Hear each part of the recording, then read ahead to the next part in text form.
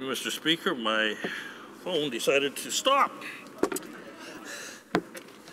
Mr. Speaker, I'm very pleased to stand up today and uh, join my uh, honorable colleague from North uh, Okanagan, Shuswap, and talking about uh, Oceans Act and Canadian Petroleum Resources Act. And uh, the title somewhat bothers me, and I'll speak about that a little bit later. Um, my honourable friend from uh, North Okanagan, Shuswap, is very compassionate about fishing, interior waters and uh, coastal waters in British Columbia. And, and, I have talked to him many times, and I, I believe he's, he's quite an expert on that, much more so than I am. But my interests and my heart lies in some of the points in this Bill C-55, and that's dealing with consultation with the Aboriginal community, uh, communities, businesses, etc., the stakeholders, of course. Mr. Speaker, I sat on the Standing Committee on Environment and Sustainable Development. And last year, our committee presented a report taking action today establishing protected areas for Canada's future. I believe it was an excellent report all parties on that uh, committee worked very well.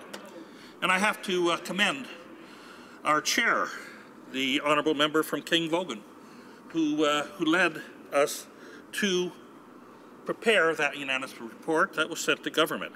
And I see government has jumped on parts of that bill and established that into C-55. You know, when we were doing that report, we heard uh, from people from coast to coast to coast. We heard from a large number of Aboriginal communities from the West Coast, Inuits from the Arctic, Aboriginals from the interior of Canada, Aboriginal communities from the East Coast, the James Bay area. And they had one specific message that they sent to us, consultation. I see this is somewhat missed in Bill C-55. I noted in the minister's uh, mandate letter, it states the Minister of Fisheries and Oceans instructs him to work with the Minister of Environment and Climate Change to increase the proportion of Canada's marine and coastal areas that are protected to 5% by 2017 and 10% by 2020. And it says it's going to support it by new investments in community consultation and science. Well, Mr. Speaker, let's look at that number. That's, that's three months from now. They're going to reach 5%. As of about June of this year, Mr. Speaker, I think Canada was less than 1% of coastal areas and protected spaces. And we were only at about 11% uh, for inland protected spaces and inland water protected spaces. So we're going to go from 1% to 5%. But let's look back on the history of this, uh, where these numbers came from. And it came from the Aichi Agreement that came out of the Convention on Biological Diversity that was held back in 2010. Our Conservative government attended that conference, and we agreed with many other nations around the world to establish protected spaces, both inland and on our coastal waters.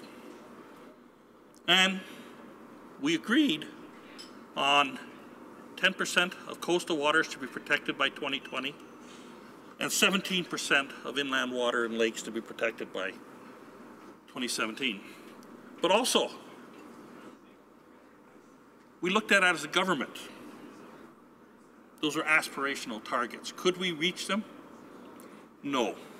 Not without doing proper consultation with our Aboriginal communities, our municipalities, our provinces, industry stakeholders. It was going to take a great amount of time and it was going to take a lot of work.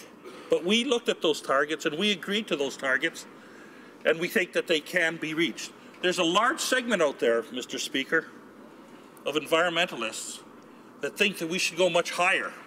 In fact, during our uh, committee's work, there were people that made presentations that think 50% of Canada's coastal waters should be protected. 50% of the inland should be protected. Those unrealistic amounts.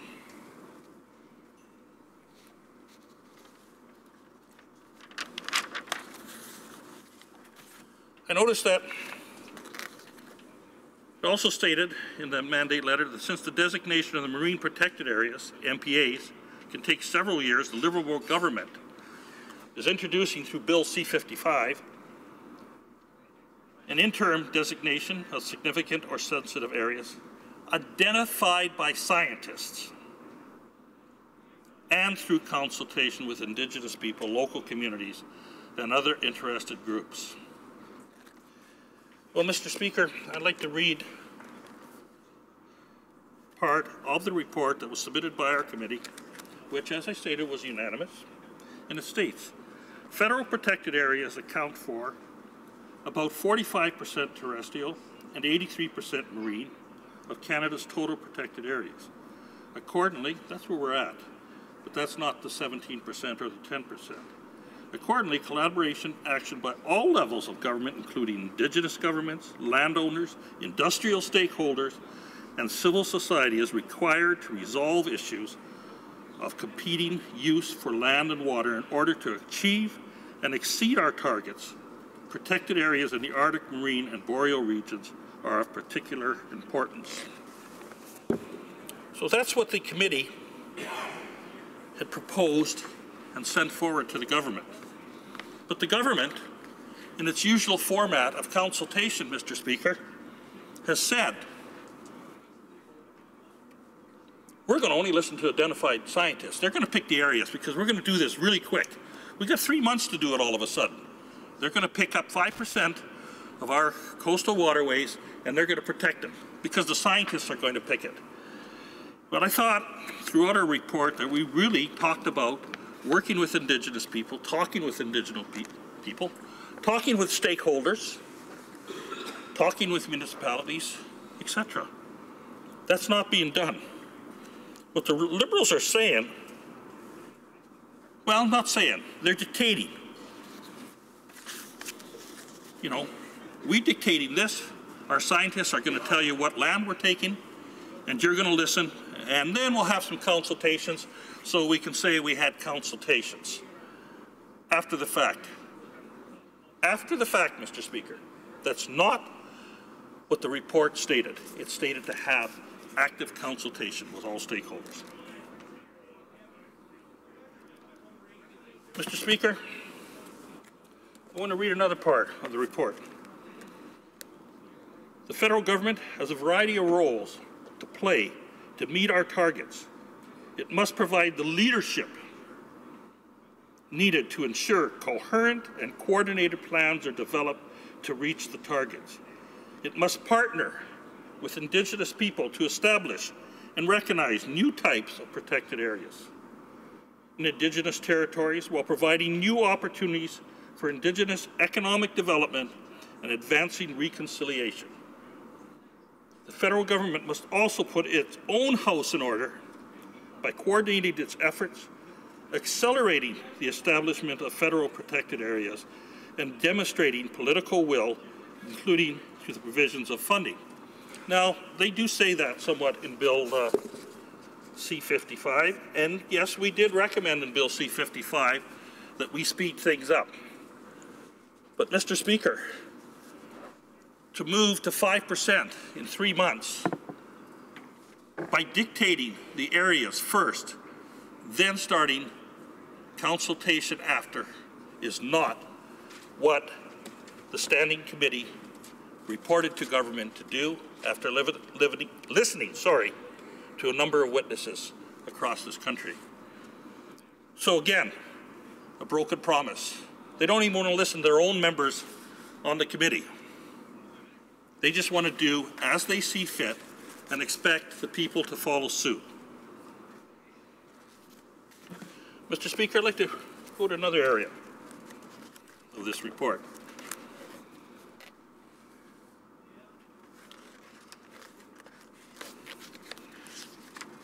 Bear with me, Mr. Speaker, there's lots of reading here.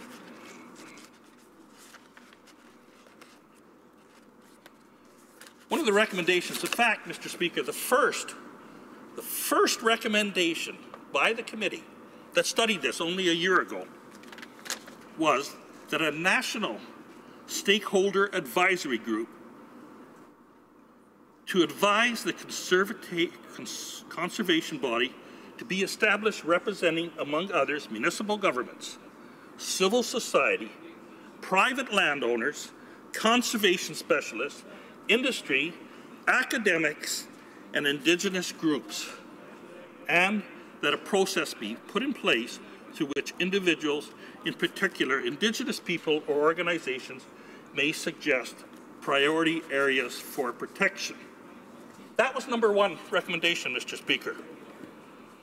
Now, let's go back to what the Liberals are stating in Bill C-55. The Liberal government has introduced Bill C-55, which will allow for an interim designation of significant or sensitive areas identified by scientists. Where in there did it say scientists? It says academics, it says Aboriginal groups, it said stakeholders, it didn't say scientists. I'm not knocking scientists, science is needed to establish these areas. But they have gone completely, totally against a standing committee that made very strong recommendations. Those recommendations were made on the information received from Aboriginal people from coast to coast to coast, from stakeholders from coast to coast to coast. But again, it's not in the interest of the Liberals to follow the recommendations that were put out by the committee. They're just going to do as they see fit.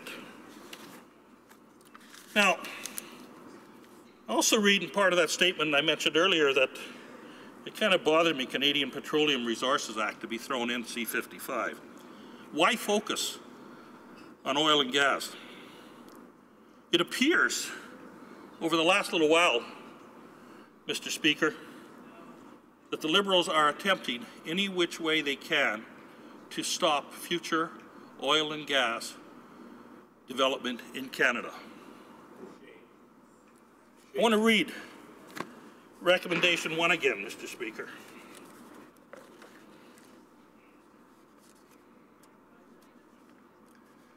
And it states in there, I'm going to change my train there for a second, Mr. Speaker. Bear with me, please. Thank you. Again, it says the federal protected areas account, I'm sorry, the federal government has a variety of roles to play to meet our targets. And it is not one specific target, get rid of the oil and gas sector in Canada. And all we have to see, if we go from the last three or four months, or the last year, is that they want to change probably the strongest regulatory controls in the world held by uh, National Energy Board, by the Alberta Energy Board, by the BC Energy Board. We've had much scientific evidence that shows that these are the best anywhere, and yet it's not good enough for this government. They're going to come on up with new forms of stopping oil and gas industry. Now, Mr. Speaker,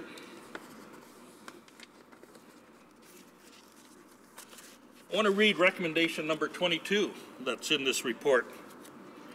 And again, I'll just uh, advise you what report that is, and that's the report uh, talking, uh, taking action today, establishing protected areas for Canada's future, just in case you may have forgotten. The committee, in recommendation, recommendation number 22, the committee recommends that the Government of Canada place a priority on collaborating with Indigenous people northern governments, and stakeholders to protect the highest ecological value of Arctic waters and for traditional use in future generations. Now, is this being done? No. They're putting scientific evidence in there. They're telling them what areas they're going to pick. They're then going to consult with them and basically tell them that this is what you end up with. Now, Mr. Speaker, I want to read a further part of the report, and, it, uh, and I'm going to read uh, page two of the report.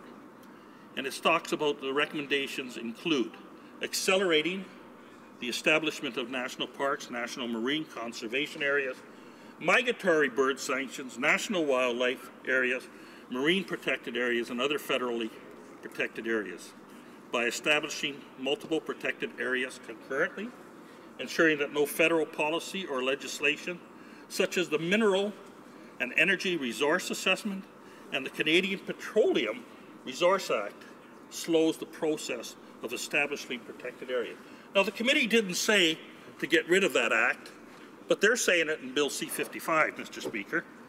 And why did they uh, just pick on the Canadian Petroleum Resource Act, and why didn't they uh, talk about the Energy, Energy Resource Assessments Act? or any of those others. No, they're just going after the oil and gas sector, Mr. Speaker. And it further states, helping to coordinate the establishment of networks of protected areas. And this is what the committee says, creating a federal protected area system plan that incorporates not just national parks, but all federal protected areas, terrestrial and marine, creating a mechanism for federal, provincial, municipal, indigenous cooperation and encouraging public participation in the establishment of protected areas and leading science-based assessments towards identifying protected areas, stuff like that. But using science to help establish. But using science, Mr. Speaker, again, using science to help after we go through the consultation periods. We meet with industry, we meet with the stakeholders, we meet with the indigenous groups, and we work together, united, Canadians, to come up with the areas that we should be taking as protected spaces. Now, Mr. Speaker, I just want to read a quote from a witness that appeared before the Fishes and Oceans Committee recently. And that was uh, Sean Cox, professor of Simon Fraser University, quite a lead expert in marine life, and stuff like that. And this is what he has to say, Mr. Speaker. Looking at some of the previous testimony, there was a claim that there was overwhelming scientific proof that MPAs are beneficial and widely successful. I think that was misrepresentation of the actual science. He goes on to say, just enforcing MPAs would be hugely expensive. Again, if you're looking at it from the fisheries management point of view, it's far more cost effective to do other things that don't cost that much. MPAs are likely to be effective scientific tools either. That's aren't likely to be scientific tools, Mr. Speaker. They're not easily replicated.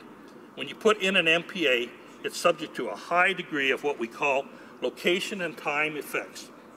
You can't just create a nice experiment where you have three of the same type of MPAs in one place and then three control areas in another. You just can't do that. They're wide open to outside perpetuations, environmental changes, and they are not within our control. If you want to build on the process of trust and goodwill, you don't then ignore what your stakeholders have to say. And again, I want to stress that. You don't then ignore what your stakeholders have to say. And consult only a minority of the protected areas that were being recommended. And this is what's happening with Bill C-55. They're going to tell the Aboriginal communities, they're going to tell the stakeholders, these are the areas we picked. Now we can sit down and talk about that. Is that proper consultation? No. And it's a completely opposite direction that our report asked them to do. Mr. Speaker, he goes on to say, as soon as you do that, you no longer have a network of protected areas. So it begs the question, why you went to such elaborate lengths to put together these design criteria if in the end all you're going to do was cherry pick a few sites. That is what's happening with Bill C-55. They're cherry picking a few sites. Thank you, Mr. Speaker. Questions and comments? Questions et commentaires. The honourable member for Courtenay Alberni. Thank you, Mr. Speaker, and, and I'm glad the member brought up Indigenous communities because we know that with marine protected areas that it's often Indigenous people that'll be, you know, looking out for those areas that are, uh, for thousands of years, have been uh, taking care of those uh, communities where the MPAs are located. Um, this government, uh, the Liberal government in the past a year ago, they made a promise that they were going to invest in marine training, in equipment, uh, supplies, support for coastal communities in British Columbia so that they could be equipped to look after communities. Because we know it's local knowledge that they have of these communities, and they're, they're the ones that are on the water, that are out there saving lives. But when there's an incident that might threaten one of these marine, marine, protected areas, it's going to be Indigenous coastal communities, very likely, like it was in Hartley Bay when the Queen of the North went down, like when lives were saved, when the Leviathan sank off of Tofino, or the Simushir when it was uh, floating adrift off of the Queen Charlotte's. Does the member support investments in marine training?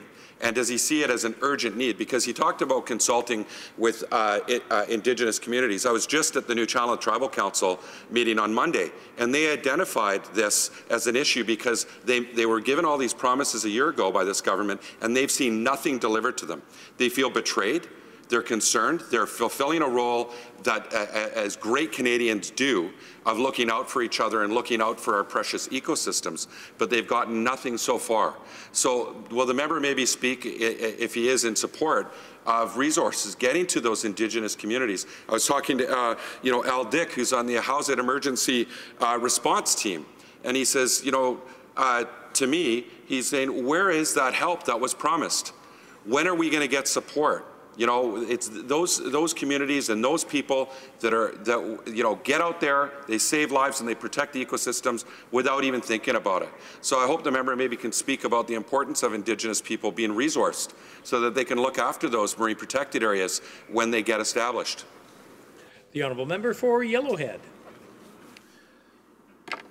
Thank you, Mr. Speaker, and thank you to my uh, the honourable friend for that uh, great question. And uh, I totally agree that we need to work with the Aboriginal communities. We need to fund Aboriginal communities, wherever it be, whether it's the West Coast, the East Coast, the Arctic. They are the true keepers of the land. They know through traditional history what has taken place, what may take place, and they are better equipped than any government body or organization to do such a thing. We heard from many groups from the West Coast when we toured there last summer, and we met with them and talked about expanding these protected areas. They very much want to be part of that. And our committee recommended that very strongly in our report, Mr. Speaker. In fact, we recommended that money be put forward and ensured that they are part of these protected spaces. I don't see that in Bill C-55. I see in Bill C-55 the government wants to dictate, the government wants to consult.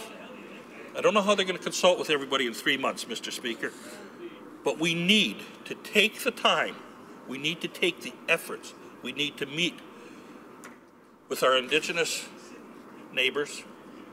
When we make these new protected areas and they're picked, they should be picked with them in consultation, not with some scientists telling them.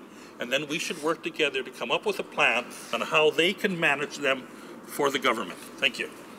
Questions and comments? Uh, the honourable member for Scarborough-Guildwood. Thank you, Mr. Speaker, and I thank my colleague for his speech. he has a clear advantage over me in that he is uh, part of the committee and part of the committee that wrote the report. And I was wondering whether I could get his comments on section 35.2 of the, um, of the bill, which says that the governing council and ministers shall not use the lack of scientific certainty regarding the risks posed by any activity that may be carried out in certain areas of the sea as a reason to postpone or refrain from exercising their powers.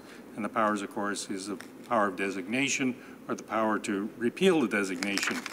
So I'm a little uh, concerned about just the uh, exact position of the honorable member and his party. Is it your view, therefore, that the government has erred in presenting this bill by um, saying that the lack of scientific certainty should not impede a designation?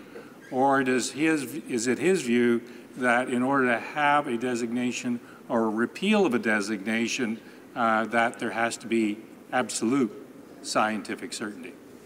The honourable member for Yellowhead.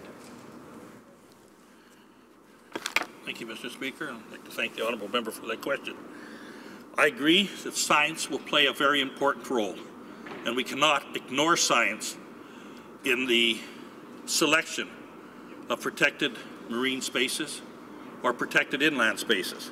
But we need to use science in conjunction with strong consultation with our Aboriginal community. I think I'm just wasting my time. The member's not even listening, Mr. Speaker. He's having a better side conversation, and uh, if he wants an answer, I would like to give him an answer. I, I'm afraid that's the prerogative of the individual. Uh, your, the time allotted to you is, you you have three minutes left to answer.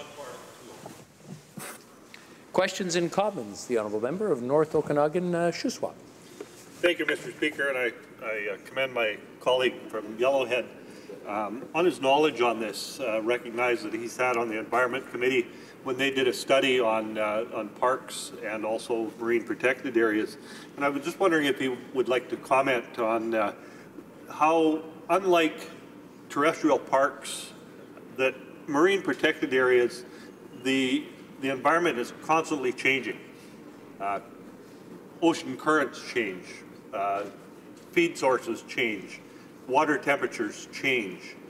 How can we uh, compare that to the terrestrial parks where the boundaries are basically fixed? Um, the fish won't see the, the lines in the water, nor will the currents rec uh, recognize the lines in the water.